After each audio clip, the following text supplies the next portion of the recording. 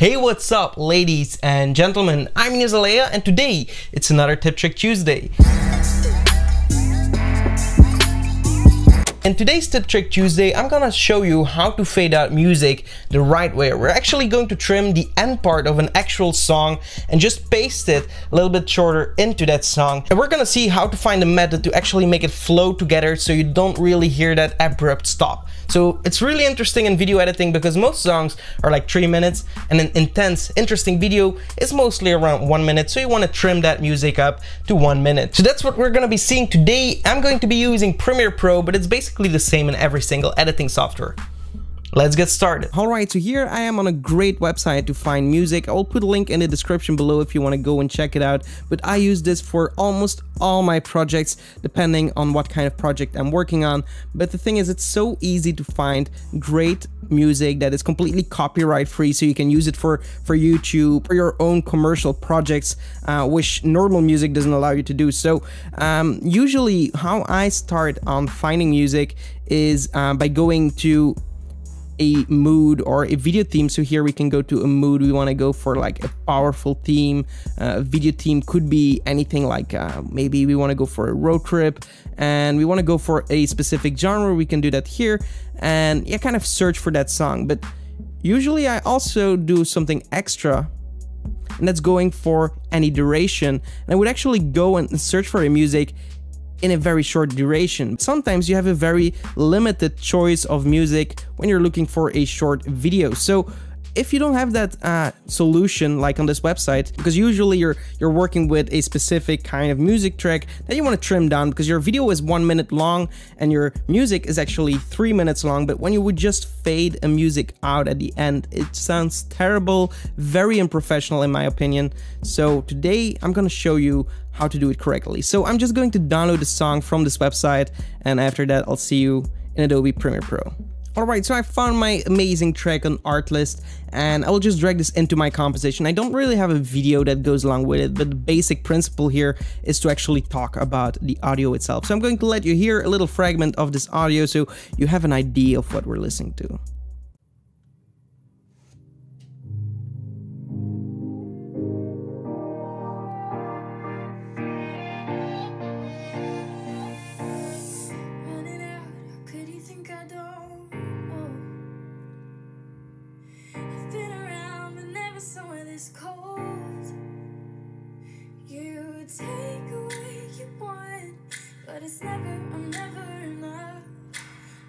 Okay, so that's really cool. I really like the vibe here. So let's say our video is one minute long. So here, right here at one minute,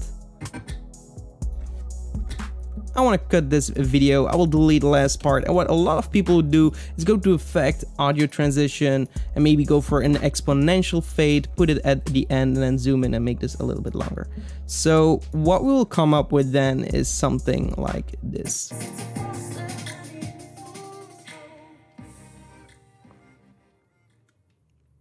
And it's okay, but yeah, that's for me typically for a beginning editor. It just doesn't sound right. So what I like to do is I would like to undo everything here and I would put like a marker here at the end so at one minute so right, here I want to end my video I did that with O I made a selection of my one minute and we'll actually listen to the music a little bit beforehand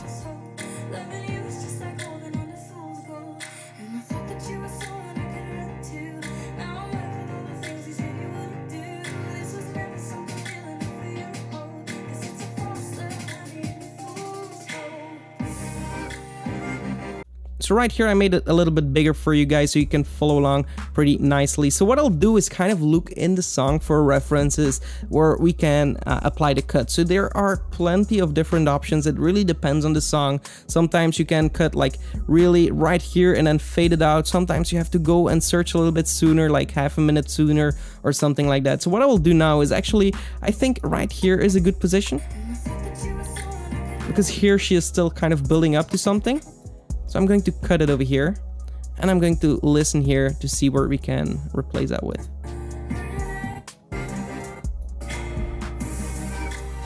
Okay, I think we can use this. It's a little bit more interesting, a little bit more intense. So I'm going to delete the middle part and put this below it and uh, we're going to try and match it up here. So I'm going to put it over here and I'm going to extend this layer so we can actually use references of the waveforms on top here. So I think that we have to match that over here and that will be a good one. Okay, I think that's gonna be a good one. Why do I think that? Well, I'm going to undo that quickly. Right here, we have like a big spike in the uh, music, um, which is also happening over here and we have this spike which matches with this spike this one with this one. So that's how I kind of try and look at my song and find matching waveforms because usually that's the one that tells you um, that your song is going to match up. But of course you have to listen to it. It doesn't work all the time with just listening to the waveforms. You really have to uh, try it out. So what I'm going to do here is I'm going to apply an exponential fade. So it actually exponentially fades in here. And then right here I'm going to apply a constant power uh, fade out and let's have a listen.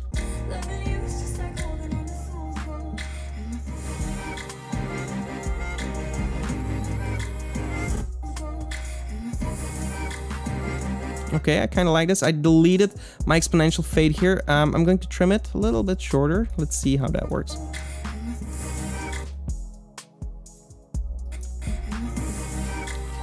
Mm, pretty. Okay, that's that's very nice. Let's have a listen.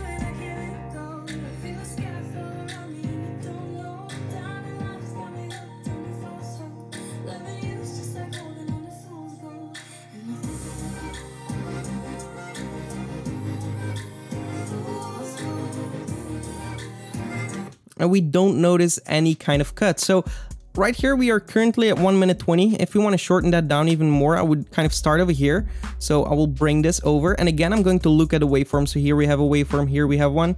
So i'm going to drag this like over here and i kind of think this matches up. We can use our time scrubber uh, to really be careful.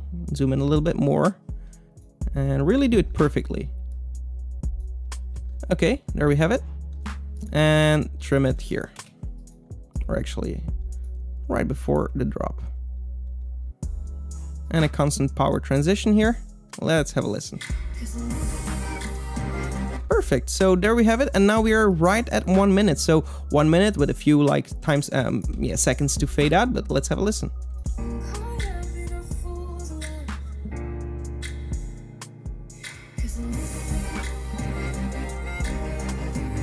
And it matches the rhythm. It doesn't maybe match the song with the lyrics because she was about to say something, but it kind of breaks everything and it just matches in my opinion. So this is a way on how to, um, yeah, kind of make music match your video because a lot of people tend to think that you have a song and you have to make your video towards that song and make your video overly and, and that way make your video way too long. No, you have your video and you have to find a song that matches your video. It depends on the project, of course, but here you have a few ideas on how to make that song just match your scene and just make it shorter. Never ever, again, depending on a few details, but try to really avoid fading out music because this is something that bothers me a lot when I see a video. It doesn't end correctly. You should have a beginning, a middle, and an end. Same goes with the video, same goes with the audio. Don't just fade it out. Alright, so that's it for this tutorial. I hope you enjoyed it. If you did, give this video a like. Also be sure to subscribe to the channel and hit the notification bell so you get notified when I upload new videos. Definitely check out our website. We have a bunch to offer for filmmakers and motion graphics artists. And apart from that, I hope to see you in the next one. Goodbye.